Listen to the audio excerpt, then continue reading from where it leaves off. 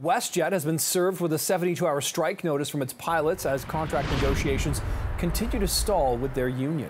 A live shot outside of Pearson Airport. WestJet pilots say that if no meaningful progress is made at the negotiating table, services will be withdrawn beginning at 5 a.m. on Friday, meaning a work stoppage, uh, grounded flights. Negotiators say WestJet has refused to agree to contracts that meets North American standards, including job security, schedule flexibility, and standard of living improvement.